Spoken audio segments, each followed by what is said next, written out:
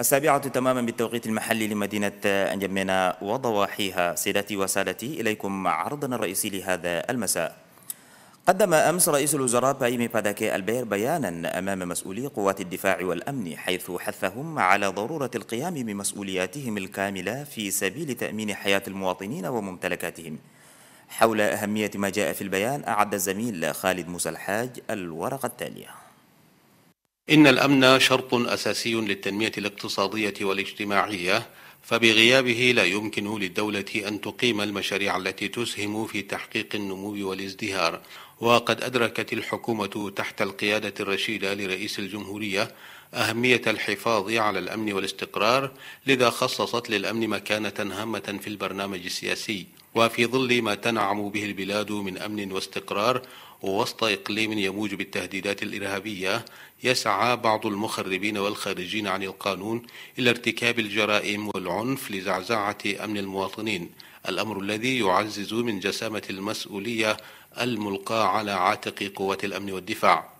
ففي بيانه أمام مسؤولي قوات الأمن والدفاع فقد شدد رئيس الوزراء باهيمي باداكي ألبير على ضرورة الاستمرار في مكافحة انعدام الأمن خصوصا مع بروز بعض الظواهر الأمنية في الساحة كالاختطاف من أجل الفدية وقطع الطريق والتصفيات الجسدية التي أصبحت تقلق حياة المواطنين. وحثهم على عدم التراخي في النهوض بمسؤولياتهم والتحلي بالمسؤولية الفردية والجماعية في إطار مواجهة التحديات الأمنية.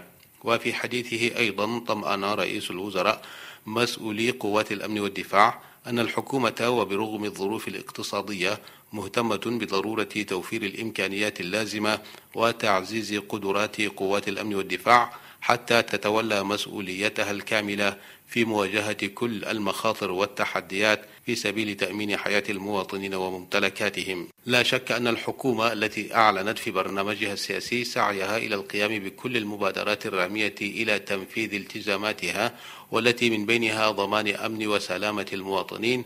ستبذل قصارى جهدها للبحث عن حلول للمشاكل اليومية للمواطن خاصة المشاكل الأمنية. كما ستدعم قوات الأمن والدفاع من أجل القيام بمهامها لمكافحة انعدام الأمن والتصدي للجرائم بشتى أشكالها.